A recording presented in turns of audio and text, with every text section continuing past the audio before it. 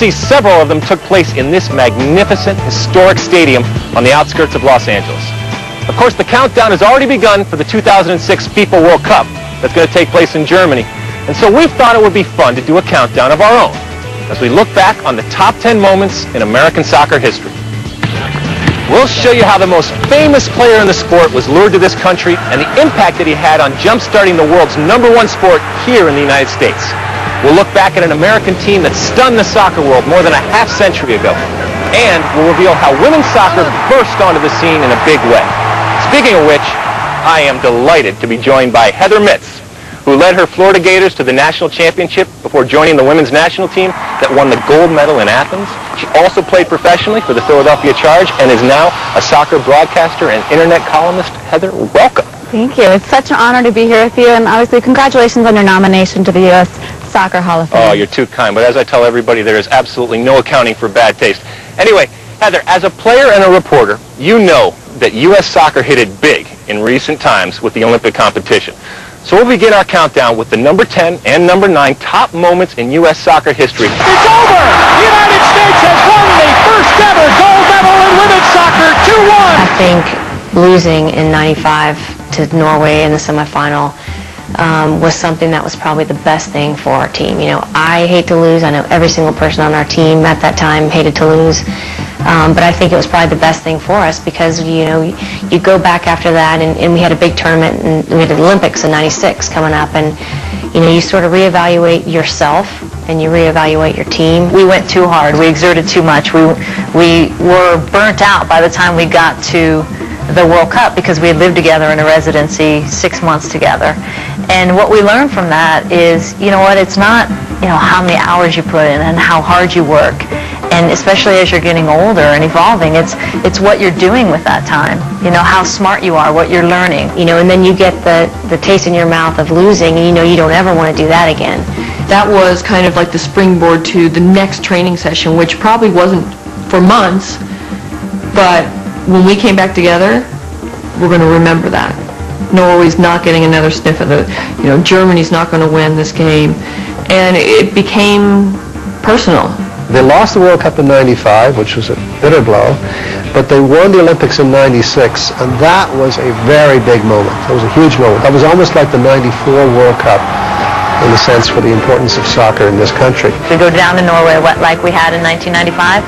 The difference is in 1995, there was this like, oh gosh, can we come back from this?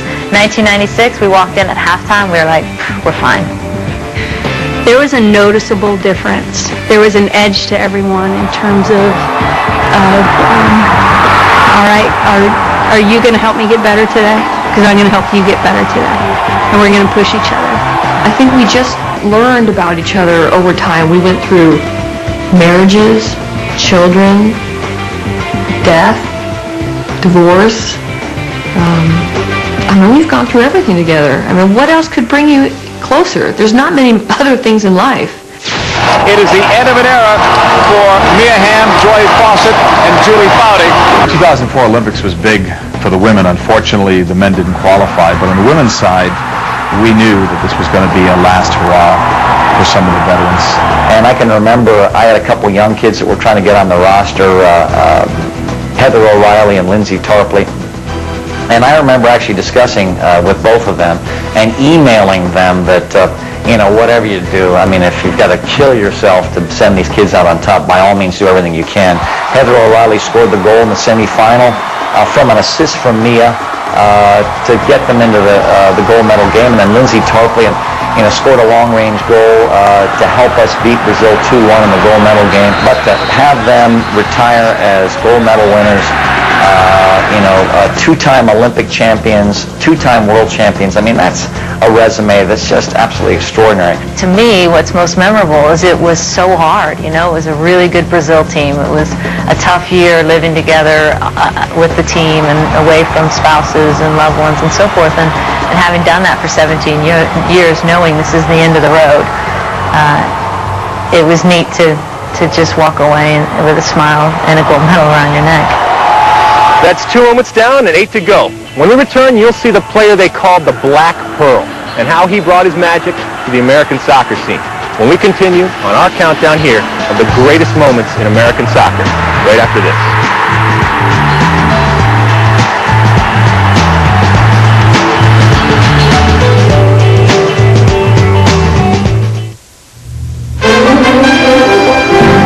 American soccer's 10 greatest moments on ABC Sports. Brought to you by Mercedes-Benz.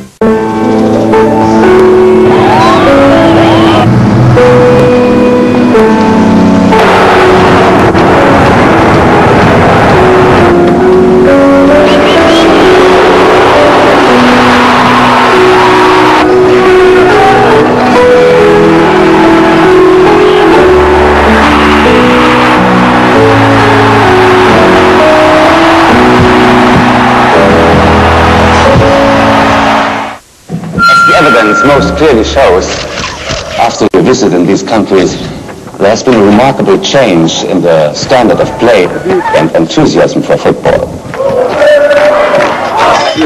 And what were in those packages? You surely cannot expect us to believe that you were only handing over these boots. So it doesn't make sense. Welcome to Zoom football. Welcome to football.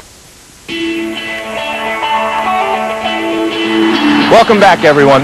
Almost a decade after music industry mogul Sonny Werblin made a huge splash by signing Joe Namath to the New York Jets, another legendary music exec, Ahmet Ertegun, used the same star power formula in bringing soccer's greatest star, Pele, to New York as the crown jewel of the Cosmos franchise, and creating the number eight greatest moment in American soccer.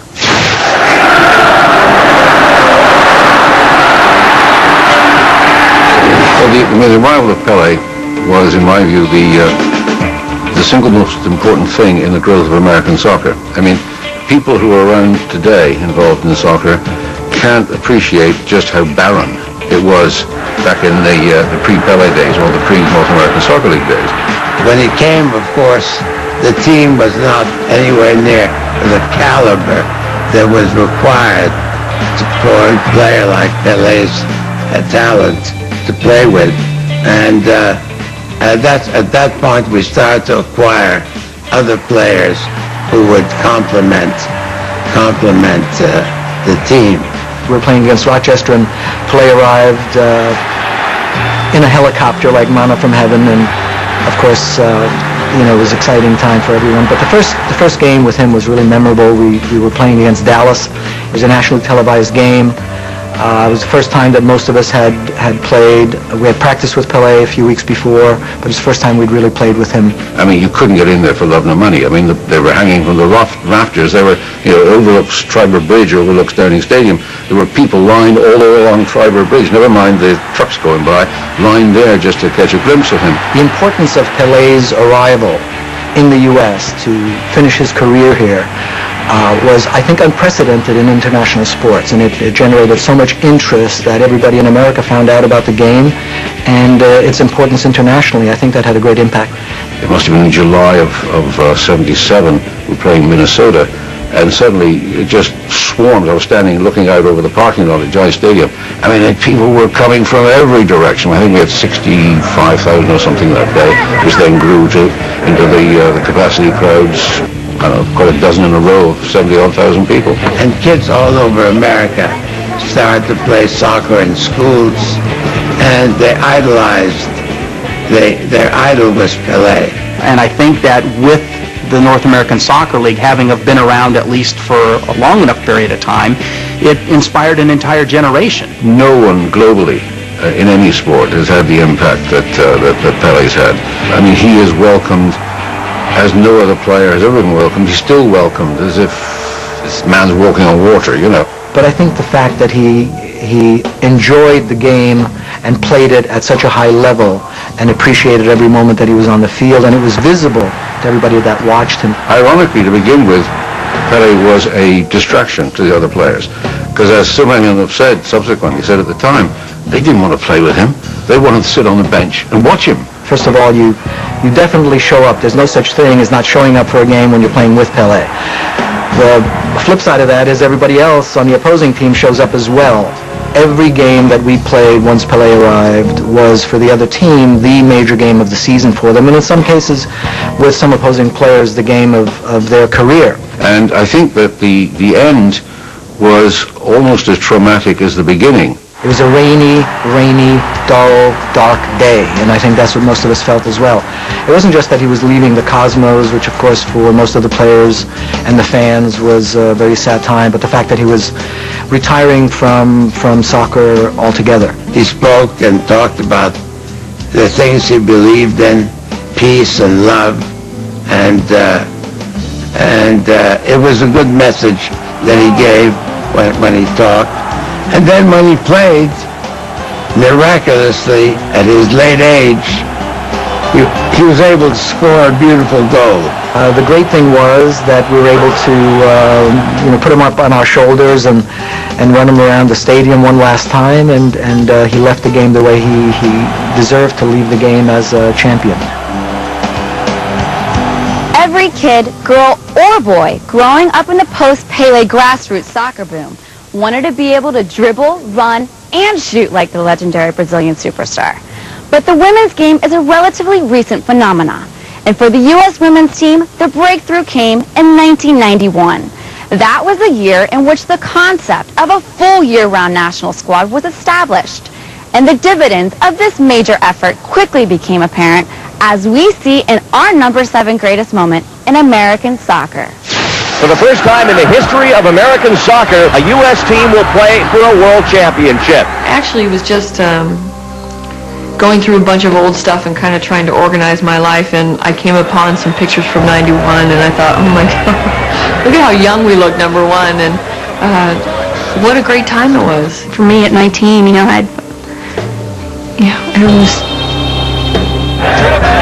you never thought it was just the beginning, but for a lot of us, we, we hope we'd be around to be, experience something like this for, for years to come. The importance of uh, the 1991 World Cup for us in the United States is it established us as a world power in the women's game. I was there. I was one of the few. I think there were only five U.S. journalists there in China in 91.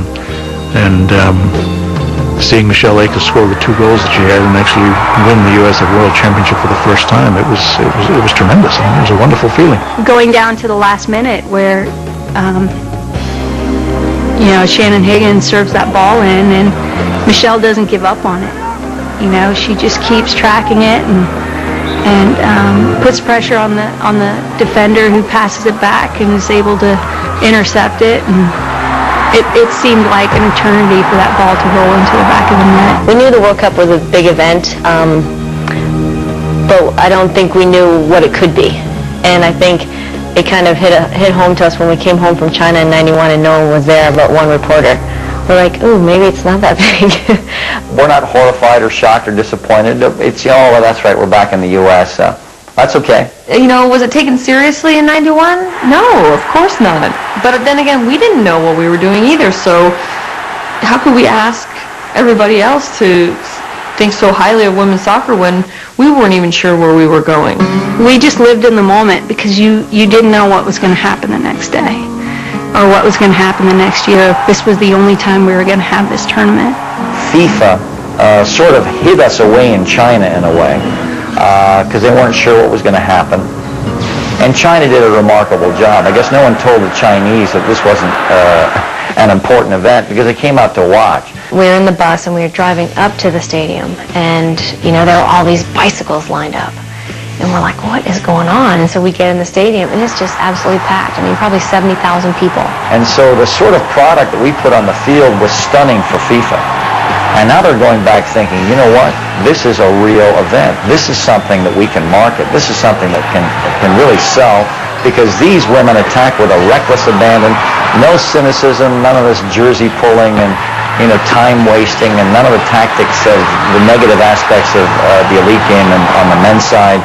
And with just one one idea, let's score goals. And if you look at each year that went on with every World Cup and Olympics after that, it got bigger and bigger and bigger. And now we're still fighting. We're still trying to keep it going. And that's that will be our goal, I think, for forever. There are six more even greater moments still to come, including an unexpected focus on women's lingerie and an American squad that played the game of their lives when American soccer's 10 greatest moments continues right after this.